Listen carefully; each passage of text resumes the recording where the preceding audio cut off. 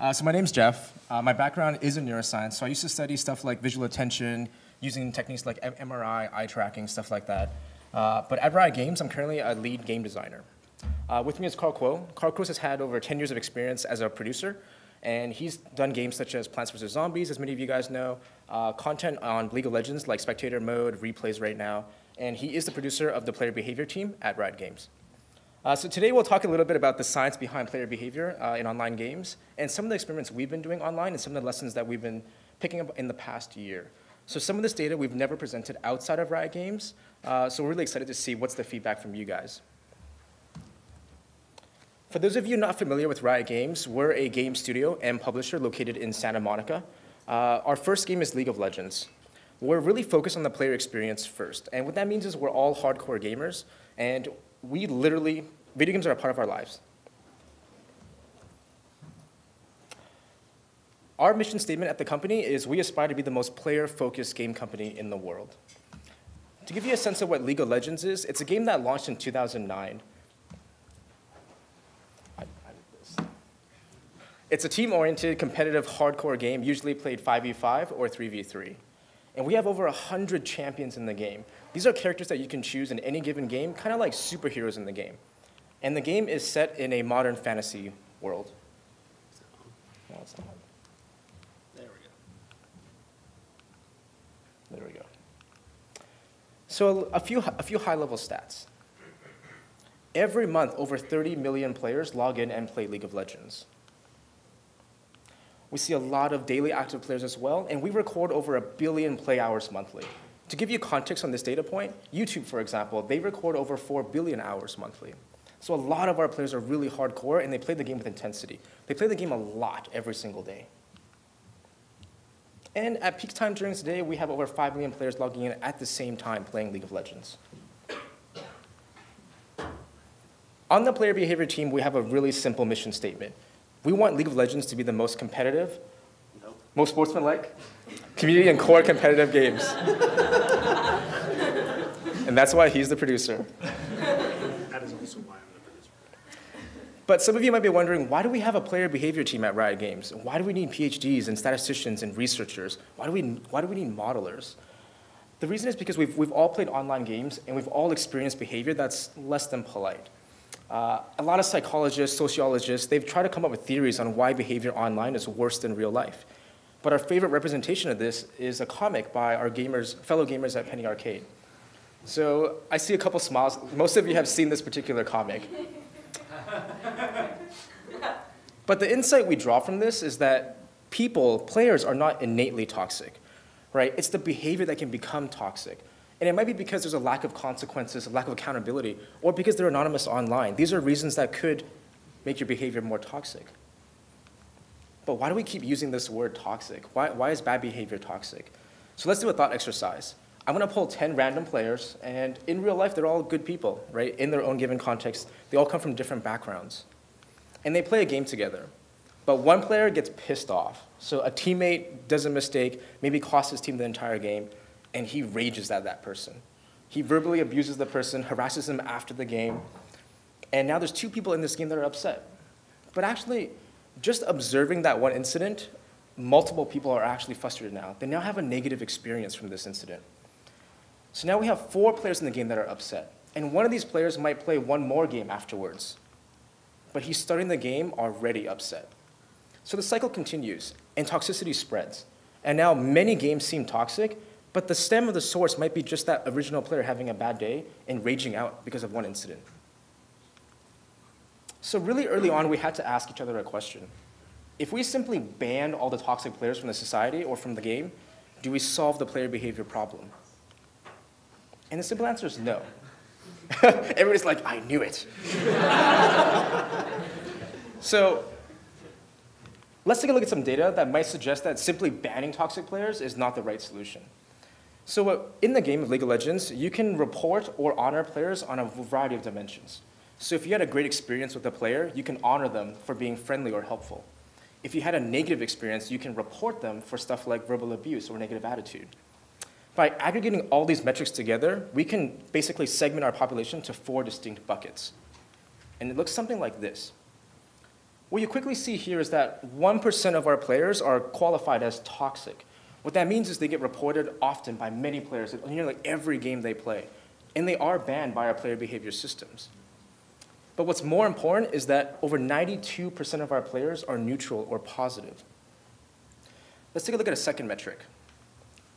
Let's look at all the toxicity in the system and how much of it stems from these four buckets. We actually thought it would look something like this. Even though it's a small population that is toxic, they're responsible for the whole majority of toxicity in our system. But that isn't the case. It actually looks something like this.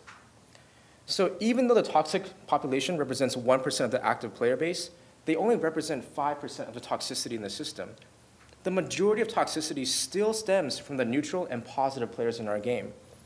And going back to it, it might just be because these players are having bad days, right? They're not innately toxic.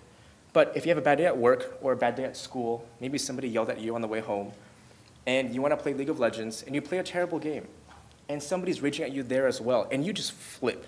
You flip the tables, you rage back at that person, but you might not do that for another 100 games. So on the player behavior team, we, are, we do have a unique opportunity to shape online behavior. And why do I mean that? Well, we record over 20 million sets of data a day. So what does that mean? So let's break apart my own personal account in League of Legends and show you some stats from that account.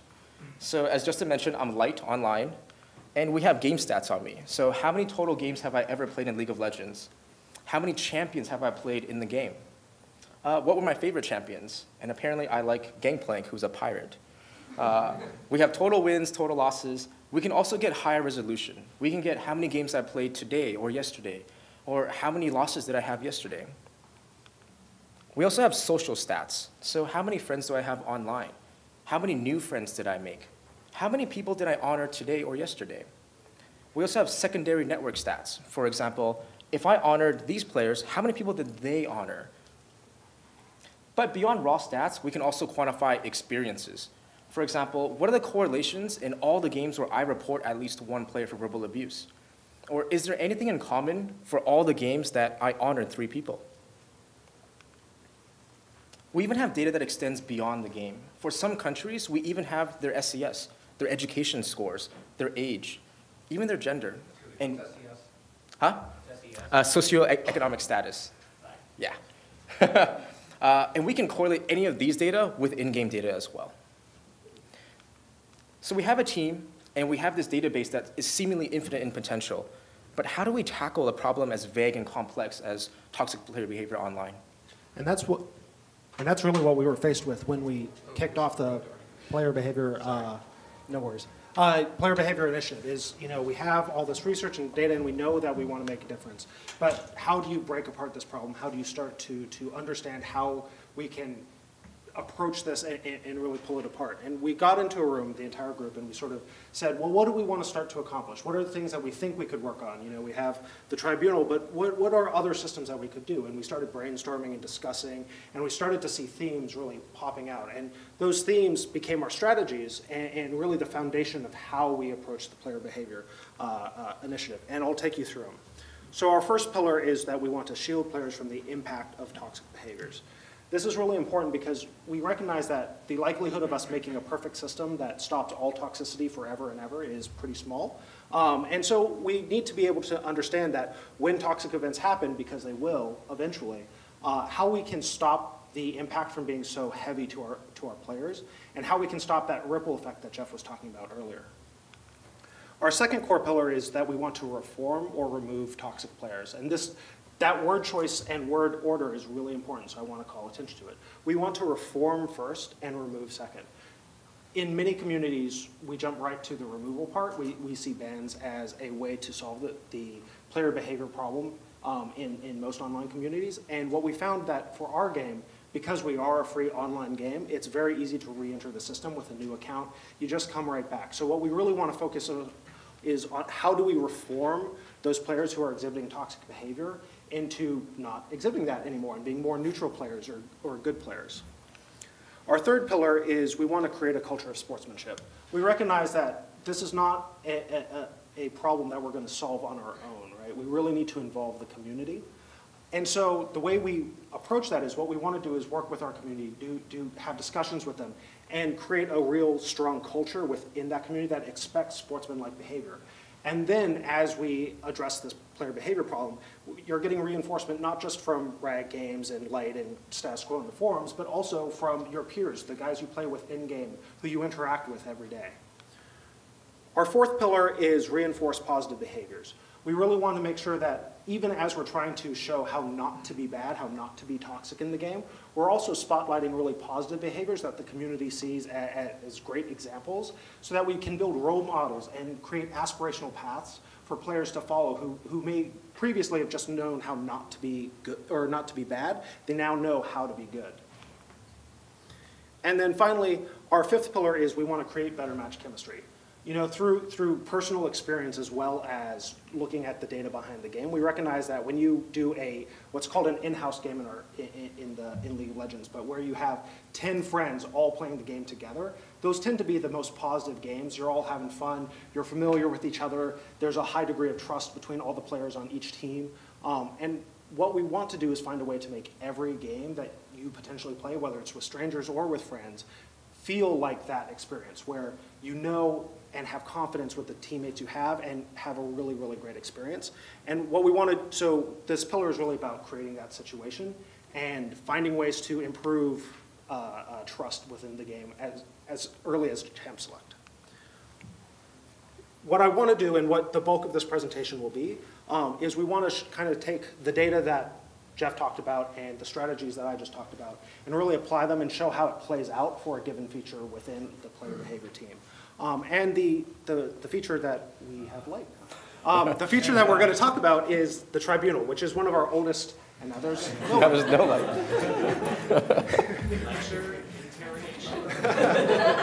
We're, we're going to talk about the tribunal, which is one of our oldest features and has a really rich history that we can uh, show a lot, of, a lot of how this has gone on.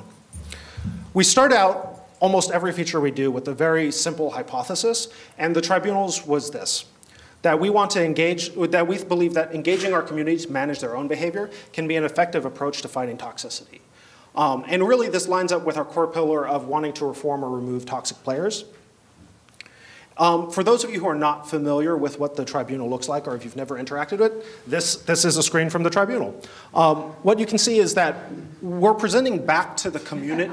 Yeah, it, it- there's some pretty great chat there. Um, we're presenting back to the community information about toxic events that have happened in the game. So in, in this particular case, you can see that the behavior, you can see the number of times this uh, player was reported in a number of games, comments about the reports, so details if, if they were shared, um, as well as all the chat that happened in the game. And actually, if, if we had scrolled down farther, you would be able to see game states like what champions were played, what the KDAs were, what items were built, that sort of thing. And what our community can do is take a look through this, review this, and say, hey, you know, I think this this behavior is actually totally acceptable within our game, so we should pardon this case, or this behavior is totally unacceptable for this community, we should punish this case. This is not. This is a approach that we've taken that other people have taken. Foldit, i- as an example, is a University of Washington um, project that engages the community to solve protein fold- folding problems. And what we found is that in, in both cases, engaging the community in especially difficult problems that are hard for computers or algorithms to deal with is a really, really effective way to solve the problem, um, as well as a really great way to engage everyone in the understanding what the problem set is and bought, bought into the approach. To date, the tribunal we, we've considered is fairly, very successful. Um, we've logged 105 million votes, and then we've also reformed over 280,000 players. When I say reform, what I mean is people who have gone through the tribunal, been punished, but are, as of today, currently in positive standing. And, and we've also done a lot of analysis around who votes in the tribunal. And specifically, we've looked, uh, one of the stats we've looked at is percentage of games that they participate in that result in a report. And we looked at three populations. The first population is toxic players, who look a little bit like this.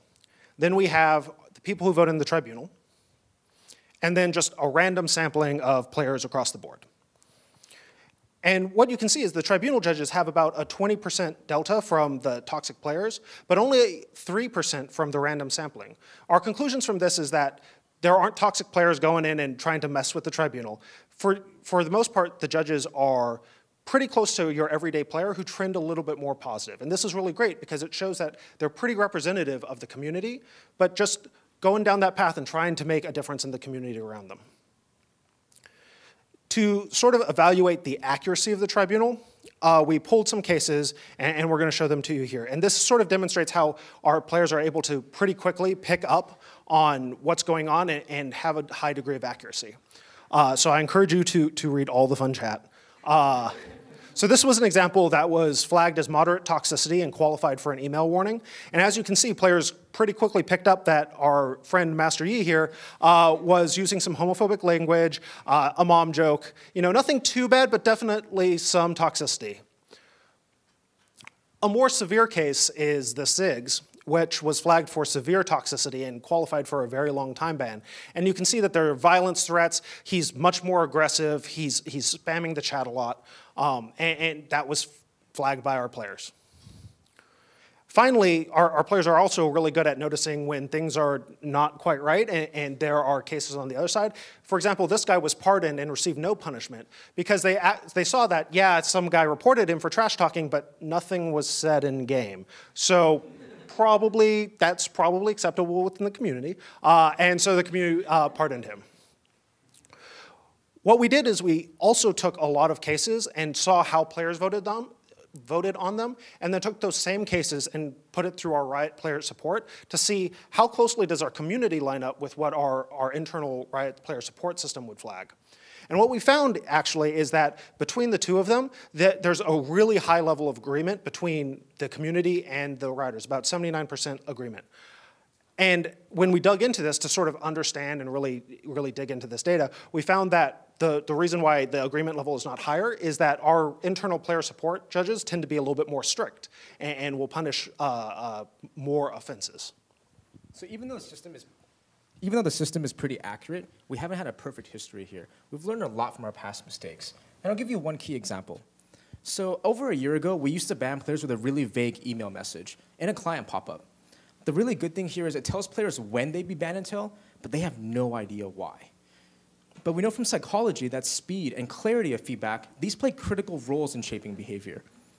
So this leads us to the next feature in the tribunal that we call reform cards. So again, we started with a simple hypothesis, and we want to take a pretty big risk with this one. We want to show players exactly why they were banned, and we hope they would improve reform rates. So what does a reform card look like? Looks very similar to a tribunal case, but at the top center, you can see there's the actual decision, there's the community agreement, and there's the eventual punishment. But we send these cards to every single player banned by the tribunal. So let's take a look at some data from this experiment. What I'm going to show you is data from last year when we were still sending vague email messages and client messages. And this is the percentage change in reports received after they received their warnings or their other punishments.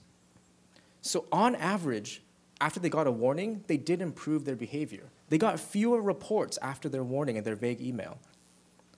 But for three day, seven day, and 14 day bans, they got worse.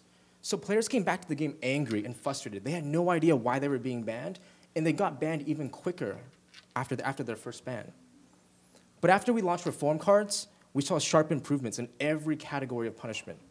And this makes sense. Players now knew what was okay or not okay in League of Legends, and even if they didn't agree with that, they knew that that was inappropriate and it could get them banned. Here we made a conscious a conscious decision to host all of our reform cards online. So we actually sent URLs to every single player that they could share with their friends or their community. So as you can imagine, when we first launched this feature, we were really scared about the forum posts that would go up. And this is the first thread that went up after the feature went live. Permaban because my team sucked and I called them fags. Now, we saw that this player had posted his reform card, and he posted paragraphs about how Riot sucks, about how Tribunal is broken, about how his ban's simply unfair. And we were kind of concerned how would players respond to this? What would the responses be like? We were shocked in the best way possible. Here's the first response in that thread. and here's some more from that exact forum thread. But the key here is that our own community was speaking up and they were loud and clear.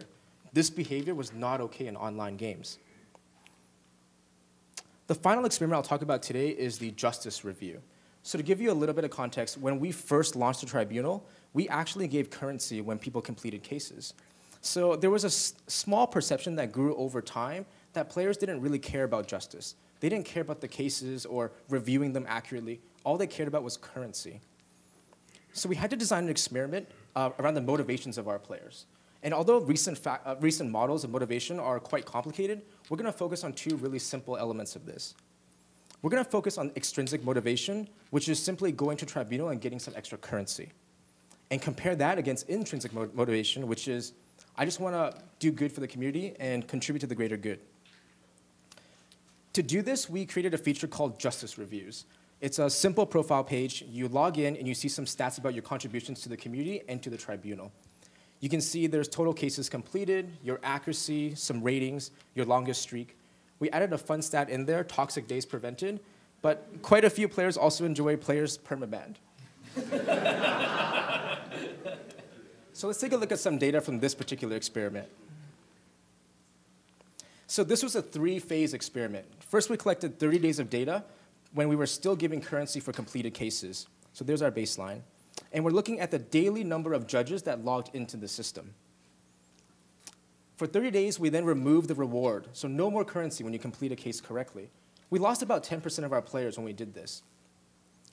But we saw a huge increase when we introduced justice reviews, almost 100% increase. We can also take a look at a second statistic, so the average number of completed cases when you do log into the tribunal. So again, our 30-day baseline before we removed currency. We saw an increase, actually, in number of completed cases when we re removed currency from the system. So the hypothesis here is that the players that were going to the system and just doing it for currency, they left when that reward was gone. But those players completed fewer cases on average than the rest of the judges anyways, so this average went up. And then we saw a second increase when we introduced justice reviews. So a few takeaways from all the tribunal experiments.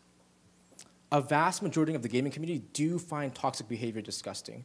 One of the coolest insights we saw was that if you look at a word like fag or the C word or the N word online in a tribunal card, those are the most highly punished words in the entire system.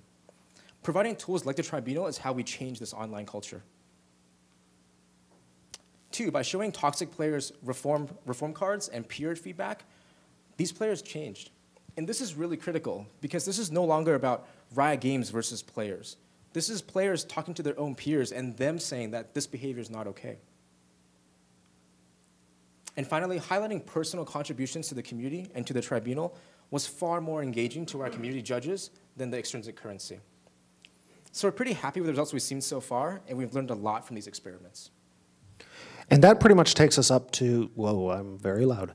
Uh, that pretty much takes us up to current day tribunal and sort of where we're at. Um, I want to take uh, a few minutes and just kind of go over what does our future hold? What are we looking at next with the player behavior team and our features? Uh, one of the weaknesses that we've noticed with the tribunal is that the speed of feedback is not very fast, right? Like the turnaround time tends to be a few days, maybe a week or two. Um, and again, we know that having faster feedback is better. So we're developing a, a feature that we call behavior alerts. And what this is is really an add-on feature that works in conjunction with the tribunal. But it can detect spikes in toxicity as they happen and can intervene to those players and say, hey, hey, dude, like it seems like you're raging a lot right now. Maybe you want to chill out, maybe you want to relax. And there's not really any punishment involved. It's more of just a quick intervention, a quick feedback point to say, hey, your toxicity is spiking that might not be so great for you in the long term. So uh, yeah. Um, the second feature is what we call the reform system. Some of you, if you follow us on the forums and follow our experiments online, um, you may have seen restricted chat actually just go to the live servers with the, the most recent patch. Uh, this is the first step towards the reform system. The idea here is, I mentioned before that in a free online community, it's very easy to create a new account and come back in, and so banning is not a very strong punishment. Um, and so what we actually want to do is remove banning from our toolkit of, uh, or not from our toolkit, but remove banning from what we do to players as part of reforming them. And instead, use things like restricted chat to slowly take away portions of their experience, but still have them be able to work through a, a, a punishment cycle that helps teach them and reform them towards neutral behavior. Um, and restricted chat is really the first one of these. And the idea there is uh, initially when you're banned, we'll put a restriction on your account where you only have a certain number of messages to say inside the game, which means that if you want to burn your messages for raging and inflaming other players, there's only so many of those that you can spend. And you have to make the conscious decision to give up being helpful to your team and calling MIAs and giving game information in order to spend it on raging instead. The, uh, we are, we're also building a lot more tools to understand the world around us and to gather more data. Um, one of the things that I wanted to highlight here is what we call the microfeedback tool. And what this allows us to do is really target specific players on, on, a bunch of different spectrums and really get in the moment feedback on almost any topic that we want. Um, a recent example of this is that we asked, we saw a bunch of threads on the forums and direct information from our players saying, hey, you know, we, there's these ranked borders that we got from being a player in season two. And we actually kind of don't like having them because we feel like we're getting bullied when we have these games. People are saying, oh, that guy has a silver border in a gold game and that's no good. Um, and we we were concerned by this, right? We want our rewards to be awesome for our players. And so we really wanted to dig deep into this. And so we actually sent out this survey to uh, a bunch of our players and said, hey, you know, evaluate, tell us your level of agreement with the following statement. I like that ranked players received loading screen borders in season two. Players were presented with this question immediately after playing a game. And so they were in the moment, they had just potentially experienced this. Um, and we got immediate feedback from our players um, very, very quickly. Within a day, we had 60,000 responses that said, you know, actually, people kind of agree that they really like this rank lo border loading screen. And so while there are definitely outliers and people who feel this way as expressed on the forums, it's not the overall sentiment of our population. And so these things are not as, to as toxic as those forum threads are, are making them out to be. And that's kind of it. So th those are some stuff that we're, we're working on in the future that we're, we're happy to share with you guys. We haven't talked a lot about them before. Um, and now I believe we're going to do some Q&A, so that'll be fun.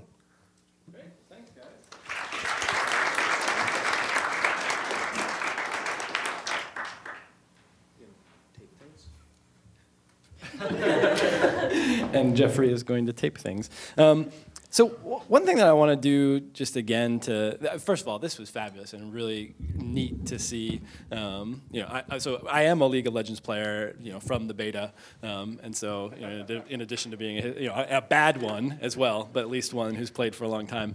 Um, and uh, and so it's been fun for me to sort of watch these things unfold and to and to see some of the really careful thought that's gone into um, to developing diff different pieces. I want to make sure too that I mean one of the things I'm going to challenge you to do in a minute is help us think more broadly.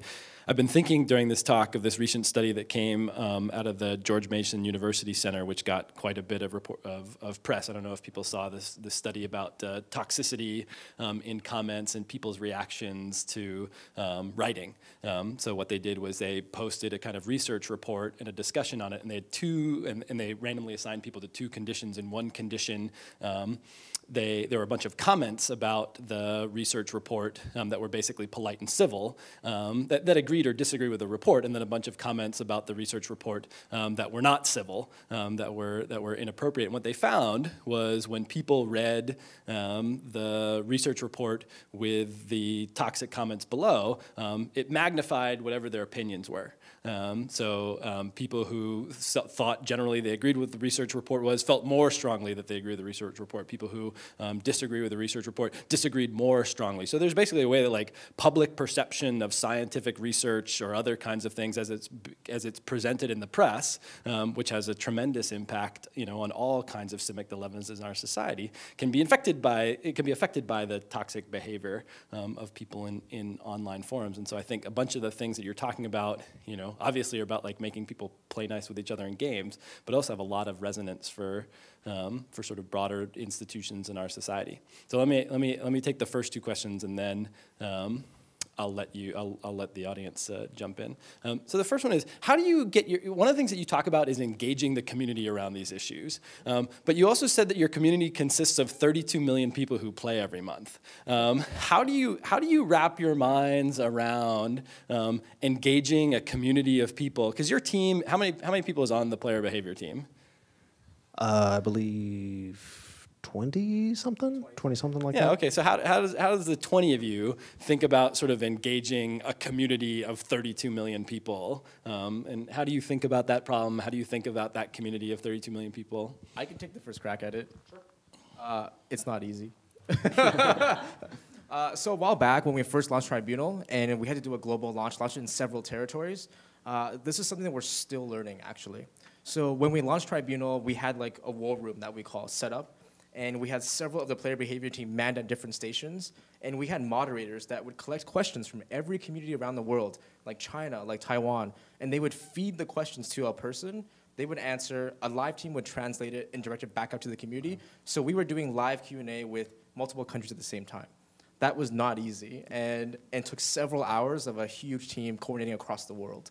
Uh, but we're constantly trying to find out better ways to do this right now Yeah, and I, what I would say is generally our the way we approach it is what we want to do is uh, kind of kick off discussions with the community, bring up issues that we're thinking about that the community has brought up recently. We did one around toxicity and champ select, um, and, and the idea there is really start the discussion and, and moderate it lightly um, and, and present our viewpoint and stuff, but not with an agenda of like, oh, we want to to this is our approach, and I hope you all agree. But more like, hey guys, what do you think about this? Is this is this like you guys had this idea, and this would be the costs of it, right? And having those discussions, what we found, it tends to spawn more of those discussions within the community. Like that one forum thread that we spent a lot of time in and answering questions, spun off a bunch of other community threads that we didn't need to go into because there was healthy discussion happening there. That was the community figuring out how it felt about these things, and eventually it boiled up into riot please threads,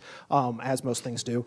But uh, uh, you know, it, it, it's sort of, said it would be due ne- done next year. yeah, like That was three years ago. soon TM. Um, the the the idea there is like we.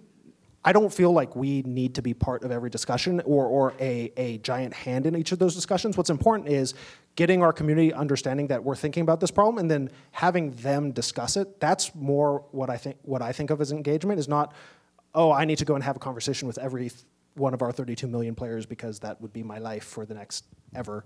Um, but having it be where those discussions can happen within our community um, and, and they're engaged with the problem. So, so here's my, here's my second question. What if you guys were the heads of the player behavior team for the internet? Um, so, so, so what, what if we promoted you as you're thinking about sort of what you're learning for designing social systems within um, Riot Games? You know, as you guys are looking at YouTube comment forums, as you guys are looking at um, other kinds of interactive spaces online, um, are, are there are there things that strike you? Uh, you know, the, the the White House petitioning system, you know, that, that requires a certain, you know, if you get a certain number of people to petition, they'll respond in some kind of way. Um, like like, are there things that you look at that you say, wow, there are some design principles that we've come up with, um, or some strategies that we've come up with within this space for gaming that seem like they'd have a lot of you know, sort of relevance in other places as other people are designing other sorts of public spheres. I think the really interesting thing there is having peers do much of the changing. Uh, so, for example, really early on the tribunal, we had a lot of rioters go on the forums, and they would say stuff like, "Hey, this language is bad," or "Hey, this is racist," and we would try to enact change by just being pillars of the community. But after tribunal launch, after reform cards launched, we got a letter from a from a boy, and he said he was 10 years old, and he writes like, "Dr. Lyte, um, I never knew that word was really bad, and nobody told me I could not say this word online." And he's like, I'm really sorry. Like, I will not say this again. and, and, I'm, and I'm sitting there, like, taking this letter to my team, and we're, we're looking at this letter and saying, like, really? Like, nobody told you you couldn't say that word online? Okay. Um, but the fact was, his, his own peers, his own friends, his people he plays with are like, hey, this is not okay. And that's when it clicked for him. And that, that's when he changed. And we get letters like these every single week now. Yeah, and I would say, like, for, from kind of the, the broad strategic producery level, I would say that there is absolutely a lot of overlap. I think that the specific strategies that you that I would employ as product owner of the internet, which sounds really weird, uh, would be different. Like, I, I think that you know we we we choose very specific things because we are a competitive game and because our aim is sportsmanship. Um, if our if our aim was civil discussion, like I think the specific strategies we would employ would be slightly different, but along the same lines of the spirit. Like he said, like engaging the community, having that culture of civic discussion rather than a culture of sportsmanship is really, really important. And it's it's really important to not, you know, we we product owner over the internet will not be able to affect change on his own. It, you have to get everyone involved. Um, and so it, it, it's a lot of the same ideas, um, but it would be a lot more work, and I would want a vacation first. no, that's great. Yeah, let's take some questions. I do we. I don't know. I think passing a mic to everyone will be difficult, and we are recording um, and want this to be able to go up later. So I think what I'm going to do is call on you, and then though it'll be pedantic because everyone in the room can hear it, I'll repeat your question so it gets recorded well, um, and then uh, and then go around. So this gentleman right here had the had his hand up.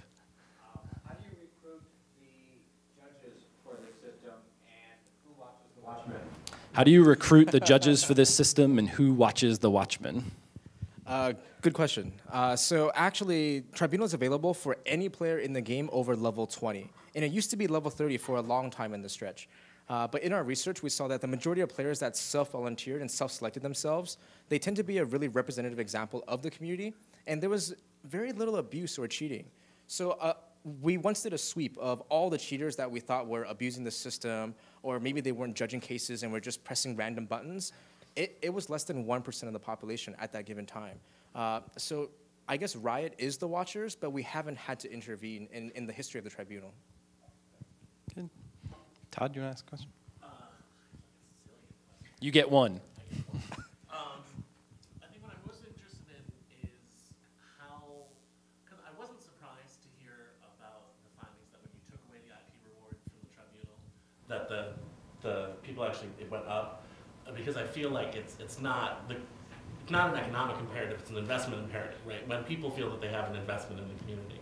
At the same time, as somebody who plays uh, solo queue ranked all the time, um, there's there's a certain ephemerality to the experience of LoL, right? Like you play with your four strangers, and you either win or you lose, and then unless one of them makes such a good impression that you link up with them in a social networking sort of way, like they go on your friends list and you queue again, you never see those people again. So how how do your efforts for increasing investment how, how do you merge those two things right? Where you want people to have a significant investment in the people they play with but the people they play with rotate so fast and the experience is so ephemeral that's great. So how do you, how do you get people um, to have a commitment to improving the the quality of the people they play with when in the way the way League of Legends is structured, the people you play with are in a sense random and anonymous, and you'll probably never play with them again. I think that a lot of that is. Um, well, first of all, we're, we're, talking a lot about that problem more and more. It sort of goes to the, the core pillar of uh, we want to create better match chemistry. Um, a lot of that is, is trying to take I don't want to say take away that ephemerality, but sort of reduce the impact that that has on, on, how you approach things. Um, we've anecdotally you often have the experience of even in solo rank queue you have that game where you're not going to friend anyone after the game, but you're like, man, I really enjoyed playing with that Taric. He was he was really good at stunning all the guys, um, and, and, we totally won that game because we were super positive and we we turned it around at the end, even though we were down two inhibitors and, and, and that sort of thing. And it really comes down to you can sort of see those games coming even at Champ Select because you're like, oh, I, I want to play this role, and the response back is trust building and confidence building because other people are like, okay, cool, well, I'll play this or I'll play that or hey, what do you want me to pick a champion for you early because that's a role that you kind of want to pick early or whatever. Um, so building on that and, and, really creating that better match chemistry. So when you come in, you're just more likely to to take the people in the game with you a little bit more seriously, even if it's only for a game or two games. Um, I think is is what the problem that we're worrying about now. Um, and then layered on top of that, creating that culture of sportsmanship, so that you know that your expectations of your peers are that they will be sportsmen, even if you only see them once in your gaming life, and their expectations of you that you are very aware of as well is that you will also be sportsmanship sportsmanlike to them. Um, those are the kind of two two strategies that I look at as how we address that problem. Great. Grace, did you have your hand up before? Um, two questions. Do you think punishment or reward is more effective in changing behavior? And secondly, are you ever afraid that you're going to over-regulate the game to the point that it's unpalatable? Because a lot of people come to the internet with this like, oh, I can do anything I want, and that's why it's so attractive. Um, do you ever feel that you're going to over-regulate? Good. So two questions there. One is, you know, what's the right balance between punishment and reward in terms of changing player behavior, and what kinds of concerns do you have about over-regulation? What concerns do you, uh, especially with the idea that people come to the internet oftentimes with a sense that it's a space for free expression, um, and here there are all these kind of boundaries and regulations on expression. Um, you know, how, how much concern do you have around those kinds of things? Do you want to come up and answer? Let's have. So, so just as a quick introduction, uh, we're bringing up another colleague of ours, Davin Pavlas, who is one of our uh, player researchers and uh, helps me out a bunch with sort of our. he, he helps out. He helps me out with the the datas. As, as regards the overregulation uh, question, I would suggest that we're definitely sensitive to imposing too much regulation, but that the context within League of Legends is not entirely the, the sort of free speech context of the internet. Like all the players who are coming here are coming with a particular goal, and that goal isn't necessarily self-expression, it's to play a game and have fun. And if that's their, their primary goal, we want to work towards encouraging that primary goal and removing things that detract from that. Uh, in terms of reward and punishment, I think it comes down to different contexts. We're shifting pretty heavily to focus on encouraging behaviors because, as you saw from the presentation of where the toxicity comes from, it's not bad people who are, who are causing the most of this. It's normal people who have bad days or have a bad experience. And what we want there is to figure out ways to stop that from happening. Like, you don't want to smack them and be like, hey, yo, chill do that nice thing you did, right? Like that, that is way cooler to us than just being a, a big blunt hammer. That was a very Santa Monica-based response to uh, to that, sort of in the back corner there. You. So I was talking about like, I guess the toxic behavior and response to toxic behavior. You kind of touched on it where you said like they might feel bad about it, but I'm talking about the people who see toxic behavior and feel so strongly about it that they in turn turn toxic in their response of like, how could you do that? Like you're like the worst person in the world. How like how does that fit into like would you recommend them for being toxic in that case? So how, how do you think differently about sort of first order toxicity and second order toxicity? So how do you how do you think differently about people who sort of introduce toxic behavior into a system, and then how do you feel, or, or how does the system? Both maybe how do you guys on the? I think there's probably two ways to address that. One is how do you all on the player behavior team think about sort of first order toxicity and second order toxicity, and then maybe you have some data from the tribunal, um, where if there's if, if you've done any kind of research about how the player community in the tribunal responds to those two different kinds of conditions. One of the most common player complaints by the tribunal is, "I want to punish somebody else in the case," or "I want to, I want to punish somebody who started the argument." Um, or a lot of ba- band players will come to us and say, "Well, somebody else was worse than me, so why, why isn't, why are you banning that person instead? Why are you banning me?" Um, but our common stance is something we've been constantly talking to our players about for the past year is that retaliation is never okay. And the main philosophy there is that we're simply adding fuel to the fire. Instead of being a part of the solution and trying to either blunt the toxicity or shielding others from it, we're now adding fuel to it and getting more people involved. So when I talk to a player and lay it really, really simply, it's if you jump in and you retaliate, you're now creating a negative experience for eight other players in the game. Right? So it's not just about you and him having an argument. You're now creating a bad experience for everybody around you. So we're still talking to players about it, and we still see this complaint a lot, but it's going to be an on, ongoing discussion. Great. Um, right here. Um, what is your uh, opinion on Valve's approach of putting toxic players only uh, matched up with other toxic players? Okay, so what, what, so it sounds like Valve, which game are you referring to? Hmm? Okay, so Dota 2, we're claiming has a system of sort of taking the, the 1% of toxic players and like putting them in the same matchmaking system and just letting them have their own sort of cesspool. Um, what's your response to that strategy? I'll, I'll talk a little bit to this, and I- I'm sure I think Davin has some words to say about this. Um, internally, we, we call that idea Prisoner's Island. Uh, and the main concern we have with Prisoner's Island is it's basically a one-way trip, right? When you throw a bunch of toxic players together, they're not going to get better, right? And uh, a lot of players, when they go to Prisoner's Island, they, they actually lack self-awareness. They don't feel that they're toxic, and they, they feel like they shouldn't be there, right? So they're in Prisoner's Island, they're looking around, they're like, whoa, these guys are all jerks. Like, what am I doing here? Like, I don't deserve to be here. Um, so a lot of players end up making new accounts anyways and shifting their toxicity back to the low levels again and back to our new player base. So for us in our game, Prisoner, Prisoner's Island is not the ideal solution.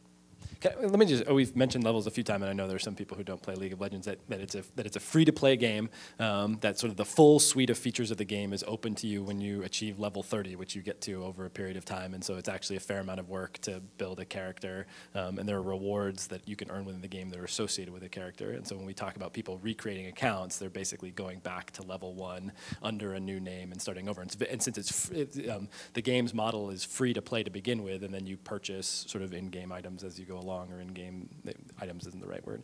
Um, but uh, so that's sort of an important dynamic here. That you know, just actually just like we would see in lots of other places, like you know, if, if YouTube or the New York Times sort of bans someone from their comment forums, like it's you're one email address away from jumping back in.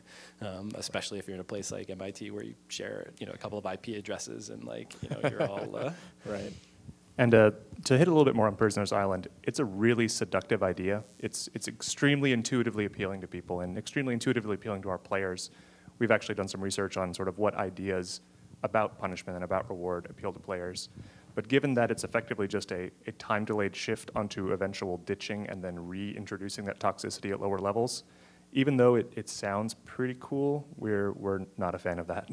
Have you? This actually makes. Have you ever ever thought about putting some kind of extremely trivial costs to starting a new, like like ninety nine cents for an account, or um, as some kind of way of uh, um, just? I, I mean, I guess, I guess the I guess the appeal of the free account is that there's no barrier to entry for all the people who you want to sort of hook in. Um, but uh, And, and I mean, I don't think that it's i- if you if you got an account to level 30, you know, having even a trivial cost is not actually going to be a cost to getting back in, um, and it, it so it sort of serves as just a, a negative experience for a bunch of players that doesn't end up actually helping the problem at all. Yeah. Um, and so we we haven't really considered that at all. So. um, good, The lady right here.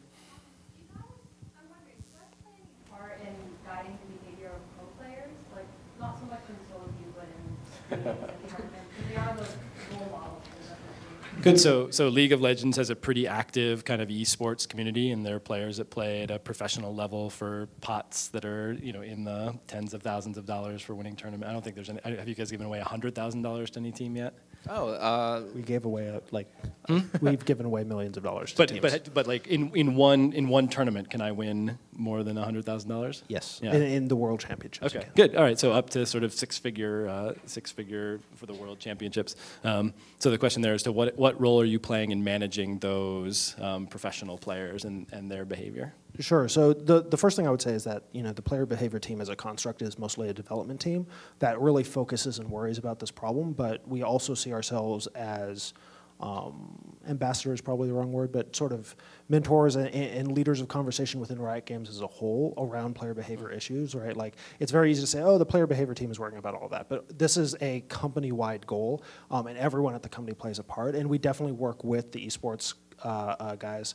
Um, we helped talk through sort of their sportsman uh, conduct uh, rules that they have in their, their guidelines and all that stuff. Um, and we also help them with the sweeps of data around the pro players' accounts and, and the activity therein.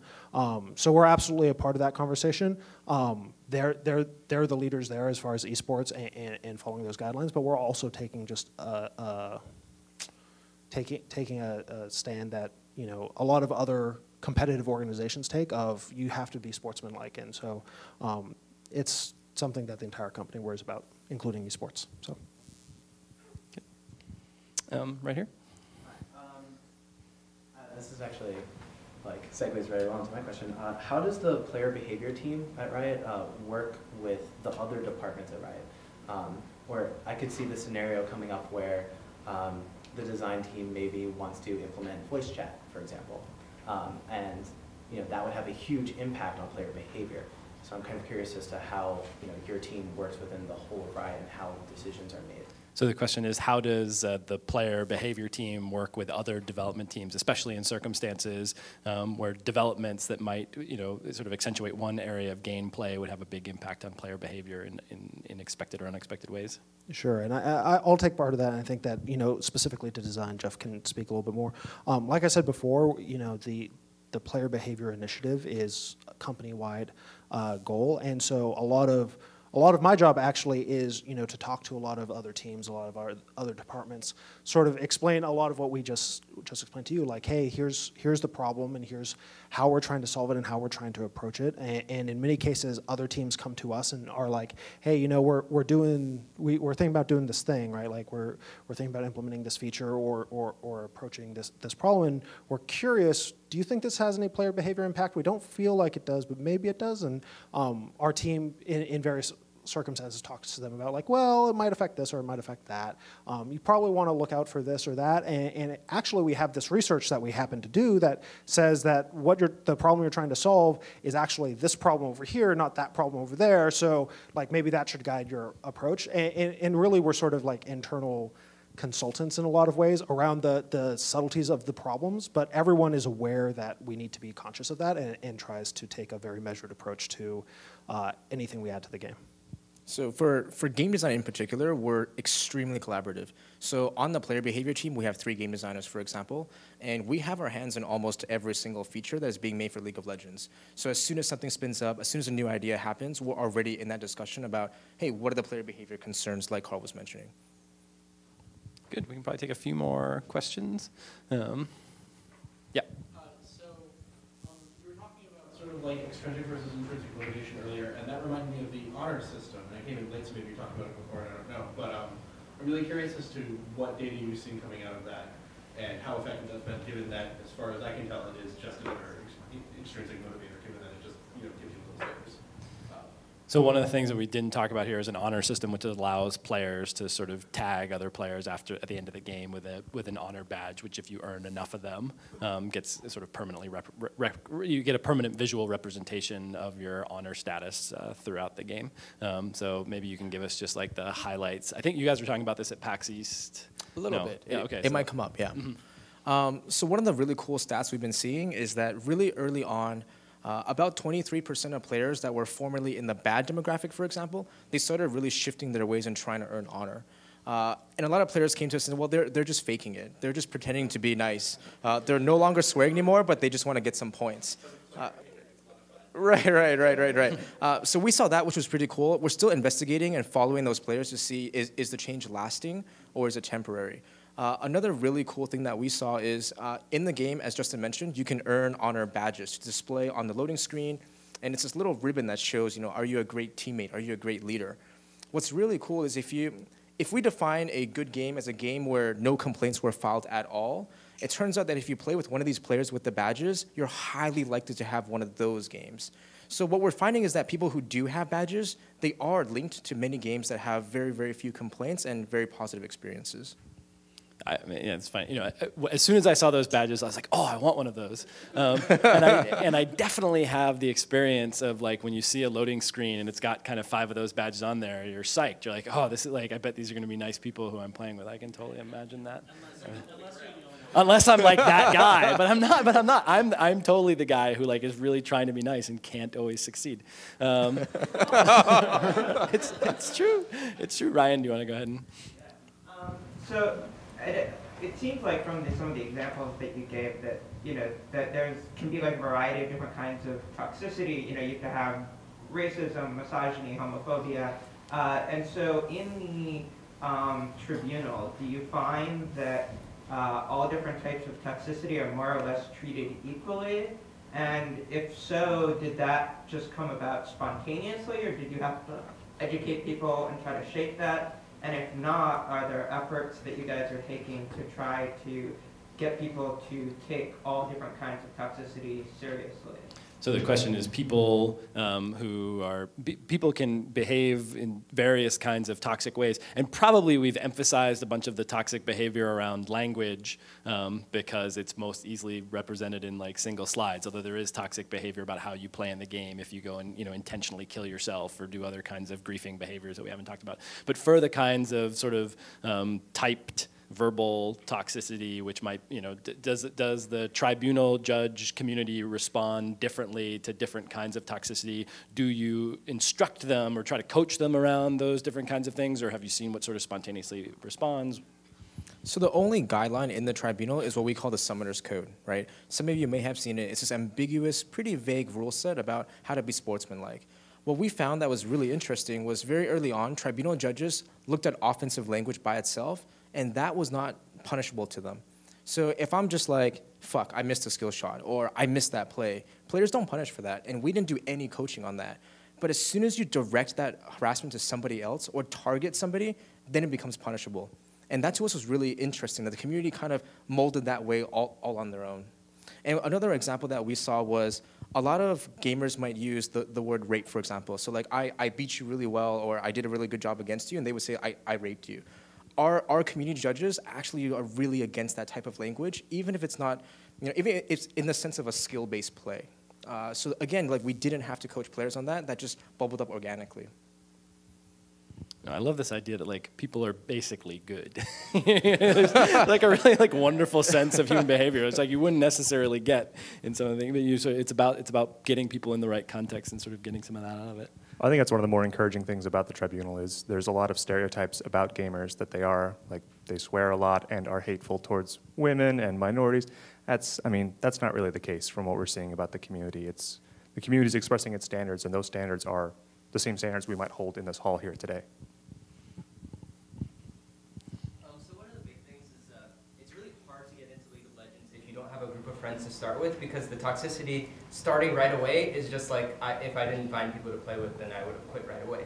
So what are you guys doing to make sure that players kind of stay in the game even though they've had a couple bad toxicity? Situations. Good. So for new, so so it's a so there's a steep learning curve to play the game. There's a lot of toxicity at sort of the low levels of the game, and for new people coming in. And in fact, if you're new at the game and not very skilled at it, you're like more likely to be a target of that toxicity um, than the standard player.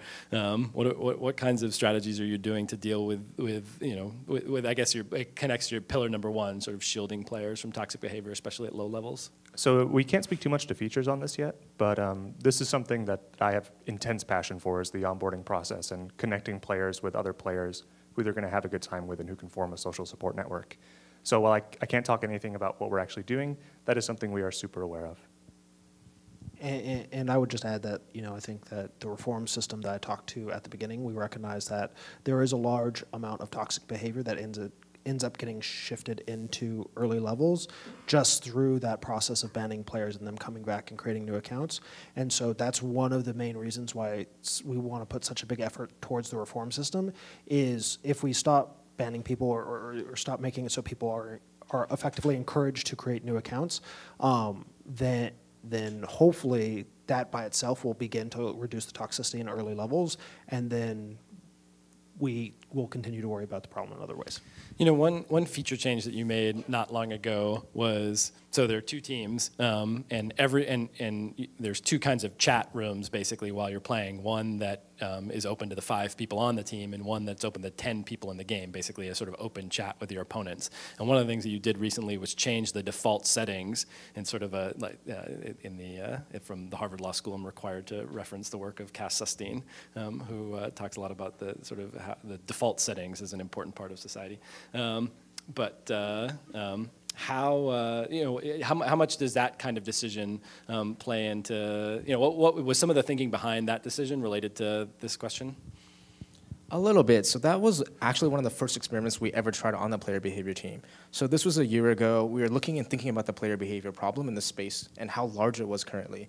And we wanted to do a really, really small experiment to see how much of an impact could we make on this. Uh, so it was focused on the first pillar to shield our players from toxicity and we defaulted this off after the patch. And the reason is because we know from psychology research that people opting out, it's much more rare than people opting uh, in. So patch happened, and we found that a majority of players actually still opted into all chat. And I think something in the 70% range just immediately after, I'm going back into all chat. But what was really cool was the environment completely changed. Uh, so in the four months following the feature, for example, we saw 17%, uh, a drop in 17% of offensive language. Uh, we saw a drop, I believe, 12% in verbal abuse. Uh, so there's a really weird hypothesis that we have about this, where if you're a toxic player and you're talking to all chat, we feel like you're trying to get a response out of people. And an intentional choice we made was not to show who was opted into all chat and who was opted out. So to a toxic player, he had no idea if there was an audience or everybody was opted out. So those players just took their energies elsewhere. So even though all chat was much more positive than before, we were concerned that were they were they taking their toxicity somewhere else? Were they spending energy against their own teammates now? And it turns out that didn't happen either. So we didn't see an increase in within within team toxicity or within team reports. So it's kind of like that behavior just just went away. Um, so we're still trying to figure out where did that energy go? Did this did it simply dissipate? Uh, does making a feature that shields our players also reduce the frequency of a negative behavior? Uh, we're still answering those questions. That's great. Maybe we have time for one more question. So you mentioned this very briefly, but you, um, about trying to um, have more immediate feedback about your bad behavior potentially. Uh, I don't know, is it the case that when you are reported, you were immediately told that you've been reported? Because, and like, what do you, if it's that's not the case, then what do you think the result of making that happen would be? Would it just make people rage more because they felt unjustly done by it, or? So the question is, um, thinking about this time lag between bad behavior, um, having a, a decision to punish someone, or, or maybe you're, are you talking about punishing someone or just having them be reported? Okay, so the initial act of you've done something wrong, you know, uh, what's the time lag between finding out that you've been reported um, and uh, being reported and finding out that you've been reported, and what's your thinking about potentially closing that time or how you think about that time lag? Sure, I can talk about this a little bit. Um, the general right now in the game, you are not notified when you are reported. The first notification you'll get of being reported is if you go to tribunal and are found guilty, um, and you will get your email warning. Um, that's that's kind of your first notification that you were being reported all along. Um, that is a fairly intentional choice up to this point. Um, there is an incidental rate of reports that everyone is sort of subject to, right? Like I have, uh, my account is considered in very positive standing, and I still have a collection of fun reports of, oh, he didn't know how to play Elise, so I reported him, right? Um, and so we, we need to be sensitive to that because there are lots of very, very good or neutral players who, if you're said, hey, by the way, you're reported, um, we see this a lot on threads in the forum when we talk, when people are talking about how, like, they, oh, I was banned and I'm so upset. And you know, Jeff will come on and post like, yeah, you were kind of reported 160 times in 10 games. We're not even sure how that's mathematically possible but you accomplished it. Um, you'll see a lot of players jump onto that thread and be like, oh, tell me how many times I'm reported. I'm so worried. Am I, I feel like I'm going toxic. And, and you look up a few of those accounts and it's like, you've never been reported in the lifetime of your account, which is two years long. Um, and so there's a great deal of anxiety that comes with that, especially for good initial players. And because people are reported occasionally, um, and that's not a big deal, um, we don't want to be too explicit about it. Behavior alerts is kind of our first foray into really giving that that faster feedback of, hey, dude, you've been reported recently. And it's much more about you've had a string of toxic reports in a row, and your toxicity levels are climbing rapidly, and we're kind of like keeping an eye on that. Um, less so than, hey, some dude reported you last game because he didn't like your name, you know. So it, it, we have to be careful with that because we don't want to create really uh, uh, negative experiences for good and neutral players. Um, but we do want to increase the speed of that feedback. So. Well, great. Um, well, I want to um, uh, thank all of you for joining us today. I really want to thank the Riot team for coming out here and spending a bunch of time with us. You know, we we increasingly live in a world in which um, in which private companies own public spaces, um, and it's incredibly important for us to be able to have conversations about what's happening in those privately owned public spaces. And so, for you guys to come out here and sort of role model um, the work that you're doing to, you know, make those public spaces as rich and welcoming and civil as possible, um, I think is just really, really admirable and, and really exemplary. So I really appreciate that. Um, and uh, you know, and I, I hope that all of us, you know, all of us in one way or another are participants and managers in different kinds of communities, and I hope that we can think about how we can take some of these design principles and some of these ideas and experiments um, and, and, things that are working and continue to share them, because um, I think, uh, you know, this goal of increasing civility in, in, in, a society that's being rapidly transformed by online tools, um, whether it's in our games, whether it's in our um, public discourse, whether it's in our political discourse, um, you know, these are real issues that, that, that affect all of our lives and the, and the health and sustenance of our democracy democracy in, in different kinds of ways. I mean, it's kind of amazing to think that like the 10-year-old boy that um, Jeff talks to, like some of his fundamental ideas about the judicial system are going to be shaped by the tribunal that he's playing with in League of Legends. He's, I mean, he's much more likely to encounter that judicial system than um, some of the other judicial systems that exist in the world. Um, so if we can give our, um, so if we can give our three panelists uh, a big round of applause for. Um, I think this is going to be made. The slides and the video will be made available, and if you guys are, you should definitely, if you're interested in getting that, follow the Game Lab and get on their Twitter and Facebook feeds and, and check their email list. Um, but thank you all for coming, and uh, have a wonderful evening.